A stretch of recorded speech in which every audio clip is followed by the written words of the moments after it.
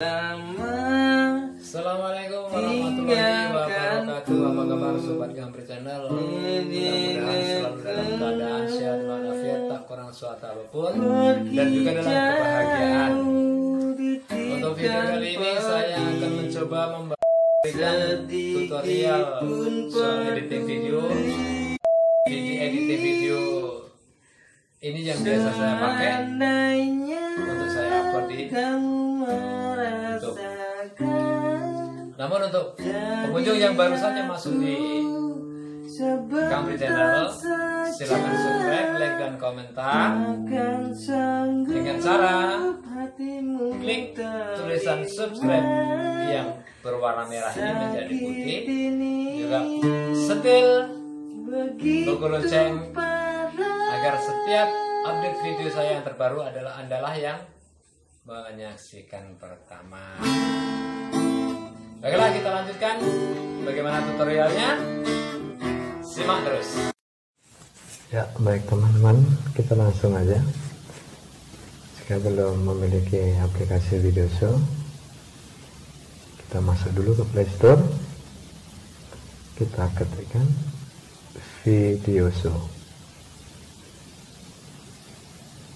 Video show adalah aplikasi yang sangat ringan, teman-teman hanya sekitar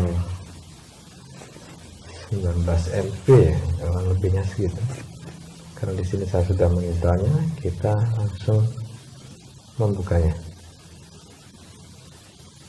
Nah di sini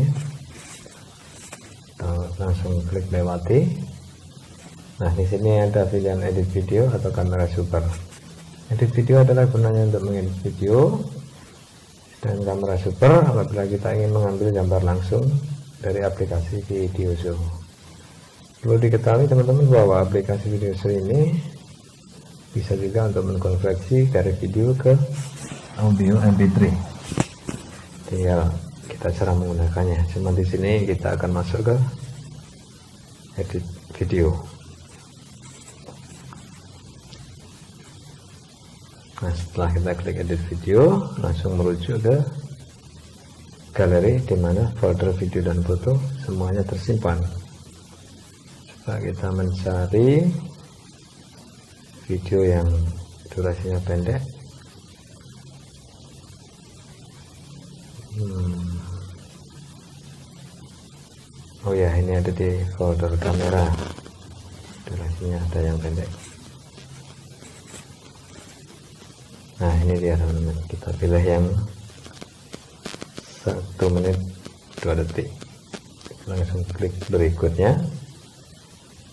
Kita langsung dihadapkan pada menu atau pilihan-pilihan editing yang ada. Saya pilih sunting. Pilih sunting Nah, di sini banyak sekali teman-teman di di tab sunting ini kita bisa mendapatkan alat-alat untuk pengeditan lebih banyak sekali. Bisa menambahkan teks bawah, edit clip untuk memotong ataupun musik untuk menambahkan musik ataupun efek-efek gambar dan suara. Namun di sini saya akan fokus pada filter karena tujuan saya adalah mencerahkan video yang aslinya gelap agar bisa terlihat lebih tajam dan jelas. Di filter ini teman-teman bisa memilih filter apa yang teman-teman suka. Banyak sekali teman-teman bisa mencoba sendiri nanti. Ratusan filter kita gunakan di aplikasi ini dan tentunya gratis. Dan untuk tanda merah yang ada panah ke bawah itu artinya filter tersebut belum saya download. Sedang yang sudah tidak ada tanda merah artinya filter yang sudah saya download. Nah ini kita coba satu persatu.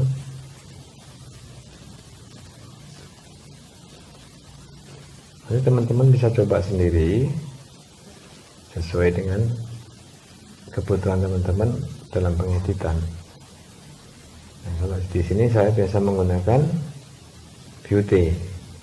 Teman-teman bisa lihat di sini gambar yang tadinya atau video yang tadinya gelap bisa menjadi lebih terang dan tajam. Kemudian setelah itu kita klik berikutnya. Nah teman-teman bisa saksikan. Gambar atau video terlihat lebih tajam dan jelas lebih terang.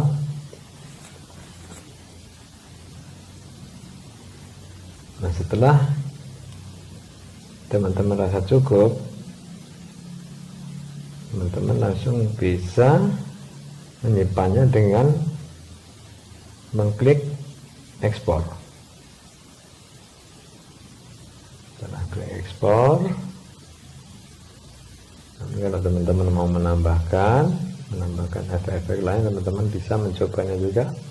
Langsung klik dari alat-alat yang ada di sini.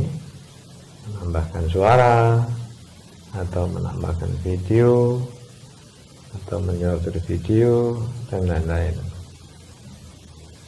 Nah setelah itu teman-teman jika ingin menyimpannya klik ekspor kemudian ada pilihan simpan ke galeri atau bagikan ke YouTube, Facebook, Instagram, dan sosmed lainnya. Di sini saya akan memilih simpan ke galeri. Nah, teman-teman harus memilih mode hard disk kalau untuk diupload kembali ke YouTube karena resolusi lebih besar. Nah, tampilan mengekspor video hitungan persen tunggu sampai dengan 100 persen artinya video telah sukses kita simpan. Demikian teman-teman. Tutorial menajamkan atau mencerahkan video gelap menjadi lebih terang menggunakan aplikasi video show. Lebih bagusnya lagi aplikasi video show ini tidak